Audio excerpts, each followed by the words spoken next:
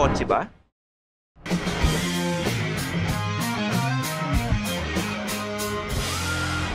Feel kotse na. Eto na nga, tuloy na tuloy na dahil ang mga car events ngayong 2022, eh, nagsisimula na. Yan. Marami ng mga tao rito Oo. ngayon. Dahil nandito tayo sa World Trade Center para sa Manila International Auto Show. Yun. Yan, di ba? Oo naman. Siyempre, kilala nyo naman ako. I'm your host, Stanley Chiang, yung senpai ng Turbuhan. At ako naman si Martin Aguilar, ang inyong cambio boy next door. Ayan, simulan na natin. Pero, simulan Mm. nyo na rin yung pag-like sa video namin at mag-subscribe na kayo sa YouTube channel ng Yan. Kotse. Kaya ano pa hinihintay nyo? Tara na! Tara na! Let's go! Let's go!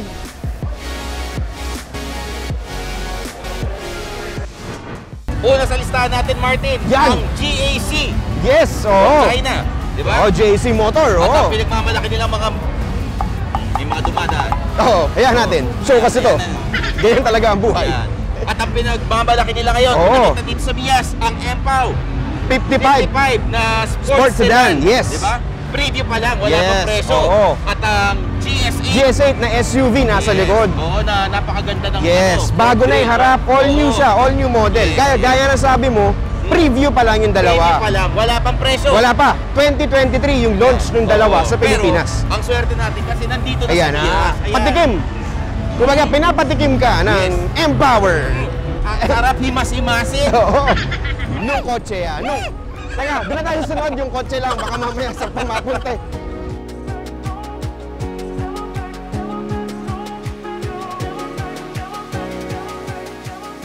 Martin, nandito naman Mm. tayo ngayon sa Peugeot. Yan, Peugeot. Oo, Peugeot, hindi Peugeot. Peugeot. Oo, Peugeot. Peugeot. Peugeot, At hindi. ang pinagmamalaki nila ay ang Peugeot 2008. Yes, oo. Diba? At tong SUV na to, itatapat nila sa HRV ng Honda, Cool Ray. Ray. Ano ba ba?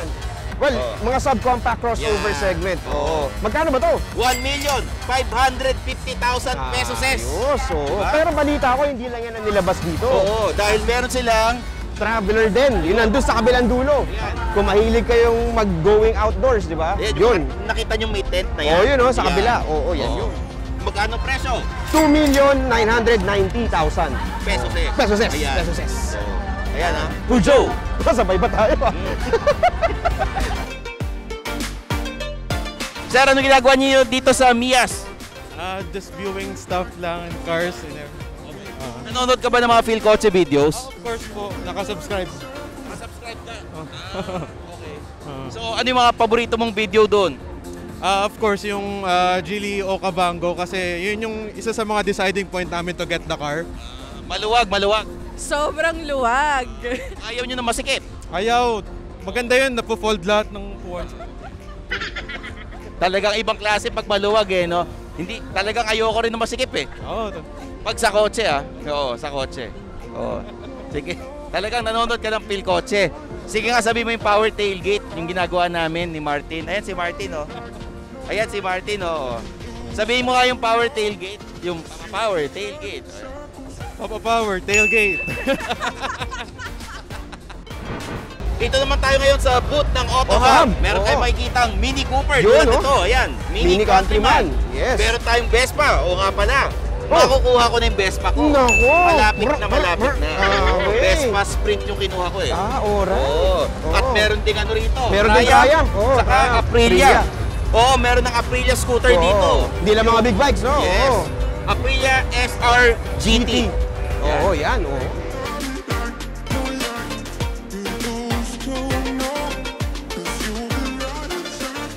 Guys, hindi naman tayo ngayon sa G- ng Geely. Ayan, Geely. First time nila sumali sa Mias. Di ba? Oo, first time yan. Pandemic eh. Yes. So, walang Mias ng mga nakarang taon. Oo. Pero pinakita nila rito ang bagong Geely Cool Ray SE.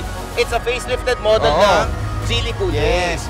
Kasama yung buong lineup nila, yung Ascara, o Kabango, at saka M Grand, yung bagong sedan. Pinagkakaguluhan ng mga tao Oo. yan, M Grand. Yeah. Alam mo naman dito sa Mias, pakitaan ng mga bagong Yan, sasakyan. oo. So, sumunod na tayo sa next na Next, ano, oo. Next na pupuntahan natin. pupunta natin.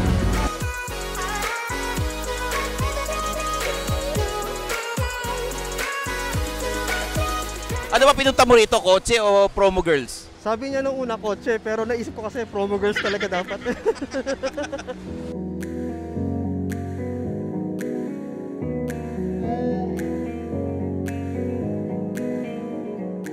Okay, nandito tayo ngayon sa booth ng Subaru. Subaru. Nakita nila ang bagong BRZ.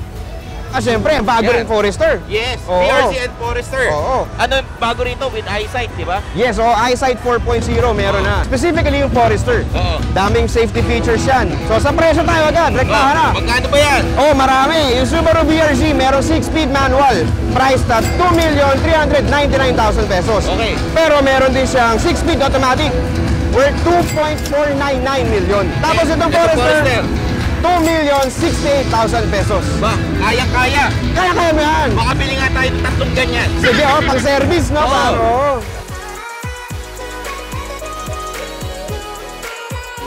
Totoo po, ang pogi po talaga ni Sir Stanley Sa personal, di ba? sa personal. Yan.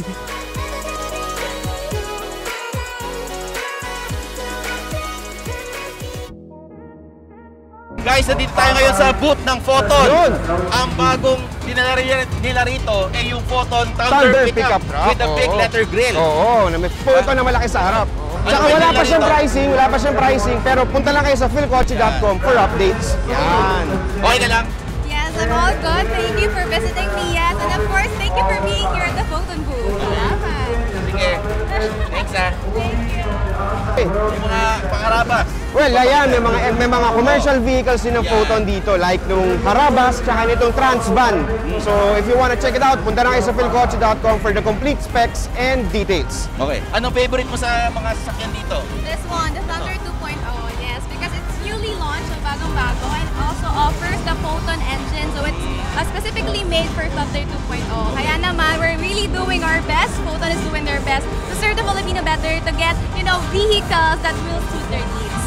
Galing. Alam niya talaga yung produkto. Oo, feeling ko dapat siya na lang nag-present, di na tayo. Present, sir. Magkano ba to?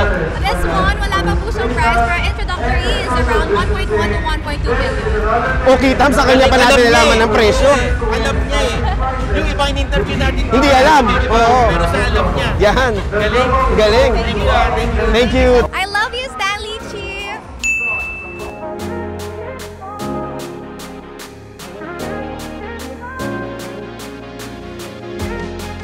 Nagawa niyo rito sa Mias. Uh, checking out cars, great cars. Uh, Cars talaga. Anong kotse niyo? Geely Coolray. Isa sa mga nabudol namin ha. yes, of course. Ayan, Martin, ayan.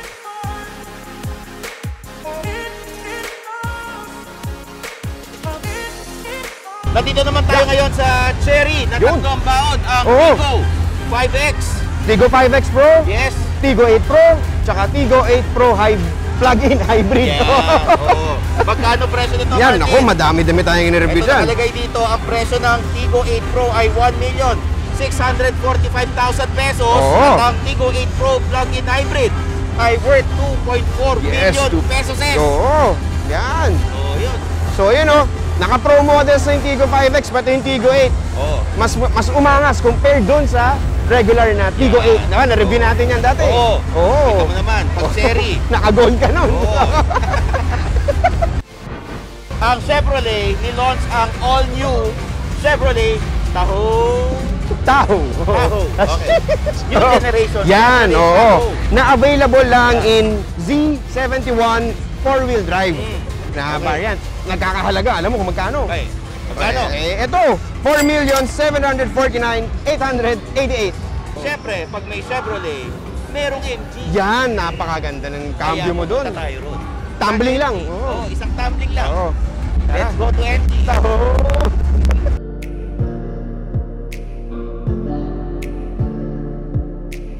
Dito sa MG, Oo. bukod sa may komportableng sopa at nagpapakape At saka MG5 4 Good. Plus na sedan. Oo, ang presyo. 748, 888. Oh, talo rin. Okay yan. 748. Oo. Tapos kung gusto yan ang mas detalyadong tingin sa HS, panoorin nila yung quick look mo. Yan. Oo. Na sinyot pa namin sa New Zealand. Oo, New Zealand.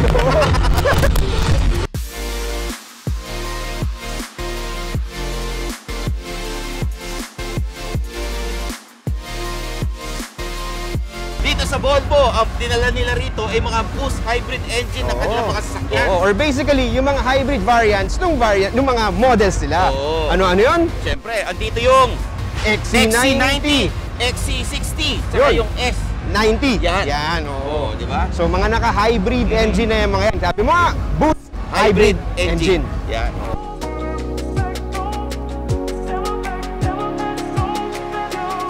Hi, ano name mo? Catherine, okay. Kung ikaw ay isang kotse, anong kotse ka at bakit? G65 Mercedes. Mag- Magkano ba yon? I'm not sure, pero like, I like the look of it. I'm not a car person. I don't even drive.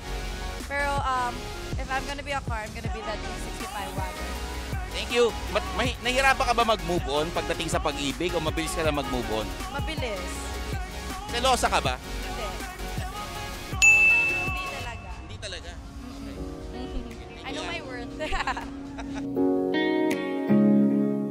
Guys, booth tayo ng Maserati. Kung gusto nyo ng mga flash rides, pang yayamanin, Yamanin. pang sosyal, Blue Seal, ito. Yan, oo. At sabi ko, Ano ba, ano ba yan? Maserati, Levante. Levante, oo. Pag umabante ka, tapos mayaman ka, ang sinasabi mo, Levante. Levante. Yan.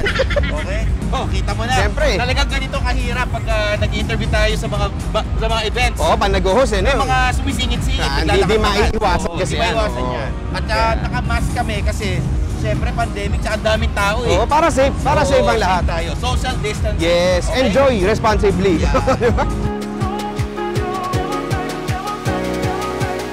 Hi, ano name mo? Paula. Una. Magkano? Hindi ko pa po alam eh. Wala pang price. Yeah. Yeah, next year pa kasi siya i-release. Sa tingin mo magkano itong sasakyan to?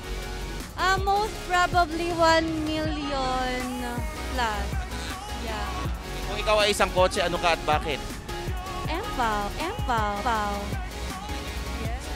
Sports car. Para mahal, mataas yung value. Turbo. Iba yung turbo, mabilis eh, di ba? Yeah. Guys, ang dinala ng Nissan dito ay ang bagong Caliber. Oo, Nissan Caliber Oo. X 4x2 na 4x2. pickup. Oh, ang presyo, 1,526 pesos. Oo. Oo, limited edition nito ha. Oo, kaya kung gusto nyo, Yun.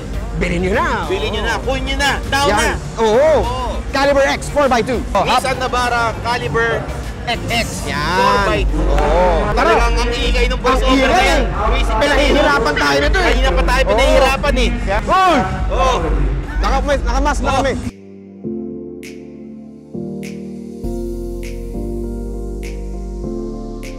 Hi, ano name mo? Uh, my name is Francia Papalayderos, or you can just call me Franz. Fran, kung ikaw ay isang kotse, ano ka at bakit? Um, sa akin, among this uh, cars, ang gusto ko is this one because it's very sexy and you know it's super slick. So it, I think it's just my personality. It's 2008. Fran, magkano ba? It's 1.5M. 1.5M. Ba, ganda ah. Sulit for 1.5M, di ba? And it's, it's brand new and like, maraming salamat, Fran ha. 1.5.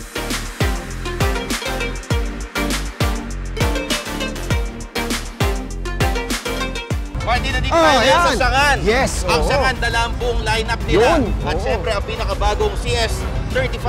CS35 Plus, oo, Yes. bagong launch Oo, yan.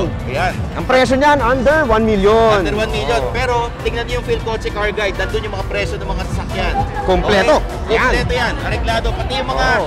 yun nandyan. Yung Iyado. Eado EV460. Yes. Yan, kanilang electric vehicle. Available yon upon request. Oo. Kaya kailangan mag-request kayo. Oo, kotse. Pwede yan. oh. Pwede. Napakaganda ng sideline. Ano? Oh. Ayan si Chris ka ng ano, ng Shangan. Halika. Naku, halika, halika, halika. Halika Shangan. Oh. Asan ba dito yung mga promo girls? Ba't di nyo sinasama sa amin? Wala. Si Chris ka. Ang bossing sa Shangan. Yan, oo. hindi ako bossing. Hindi mas bossing sa akin. Okay, oh. Kaya si, siyempre, di ba? May mas bossing kayo, si Miss Pe. Ayan, okay. Ano bang pinagmamalaki nito? CS35 Plus. Oo. So, ito yung bagong launch namin. So, nilaunch lang namin siya last month. And um, ito yung facelift na niya. So, what's good about the CS35 Plus, yung safe tech features niya. So, um, ito, we have three variants. So, ito nakikita ninyo, this is yung Lux variant. And then, Yun, yung nandun is the hype variant. So, ang difference naman niya is two-tone lang ito. But everything else remains the same, especially for the safe tech features niya. And also yung power tailgate. Sabi mo nga, Papa Power, Power, tailgate. Power, power tailgate. Power! Papa Power, tailgate. Oh, di ba? so much. Thank you, Chris ka.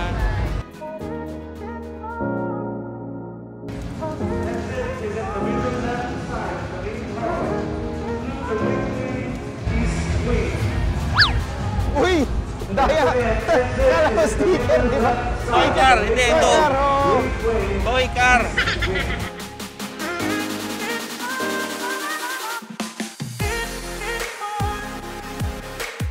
Kanina ko mga picture. Sa senpai ng turbuhan! Papapower! Tailgate! At yan, nakita nyo na, Manila International Auto Show. Siyempre, ang pinaka main event dito sa sa lugar na Oh, to. sa show na to, Sa ano auto show na to. Siyempre, yung meet and greet nating dalawa. Ah, Kita mo nga, ah, dami oo, nagpa-picture oo sa atin, oo. di ba? Oh, Parang sa kanya boy. lang. oh. Scambio boy, medyo shy boy pala sa totoong buhay eh. So, paano ba yan? Bago kami paalam, I'm your host Stanley Chiang, yung senpai ng Turbuhan. At ako ulit si Martin Aguilar, ang inyong cambio boy next door. Pinapaalala namin sa inyo na i-follow ako sa aming mga social media accounts. Meron ako YouTube, youtube.com slash Stanley Chi at meron akong Facebook, Twitter, Instagram, TikTok at Kumu. Yung podcast ko, Underpaid with Stanley Chi sa Spotify and Apple Podcast. Kinig na at mag-subscribe. At Yan. syempre, Suplado Store sa Shopee para magkaroon kayo ng mga Suplado shirts tulad nito. So paano ba yan? Kita-kits tayo sa next event. Sana magtuloy-tuloy na at bumaba, bumaba na talaga yung mga Yan, COVID, COVID cases, yan, di ba? oo. Oo. Talaga yung COVID na yan eh, no? Pa, ano, sagapan. Oo. So paano ba yan? Kita-kits tayo sa next video dito lang sa Phil Coche. Bye-bye. Bye-bye! Tara, ikot tayo uli doon sa loob. Ano, Parang let's may go. na ano eh. Sa parking. Let's go. Thanks for watching. For the latest news, reviews, and anything you want to know about cars and car ownership, visit philcoche.com.